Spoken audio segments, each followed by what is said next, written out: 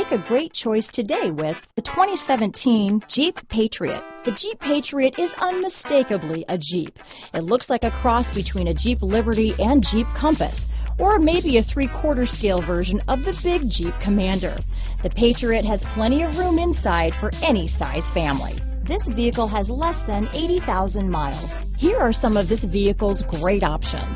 Traction control, heated seats, dual airbags, Bluetooth, power steering, four-wheel disc brakes, aluminum wheels, cruise control, center armrest, heated front seats, power locks, power windows, rear window defroster, electronic stability control, CD player, fog lights, brake assist, panic alarm, tachometer. Take this vehicle for a spin and see why so many shoppers are now proud owners.